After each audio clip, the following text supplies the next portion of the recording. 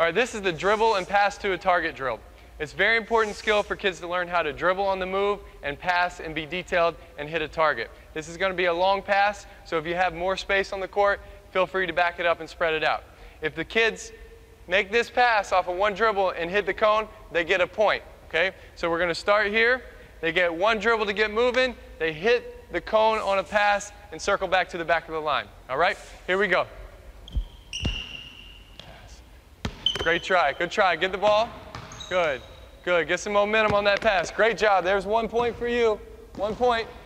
Good. There you go. Good job. One point. Perfect. One dribble. Great pass.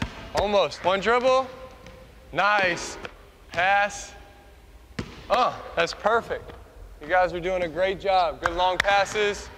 Way to step. Almost, almost. Get the ball. One big dribble. Nice long pass. Throw it with some strength. Put something on it. There we go. Almost, almost. One big dribble. Make sure you jog with it, okay? It's a dribble and jog, okay? We want to get somewhere on that dribble. Dribble. You got to go somewhere. Good pass. Go somewhere. Here we go. One dribble. Perfect. All right, go ahead. Dribble. Pass to that target. Try to be perfect. Great job. It's okay. Here we go. Dribble. Pass. Yeah, great job. Great job. Let's get one more. One more. Huh, that was perfect. Great job, guys. Great job. All right, that's the dribble and pass to a target drill.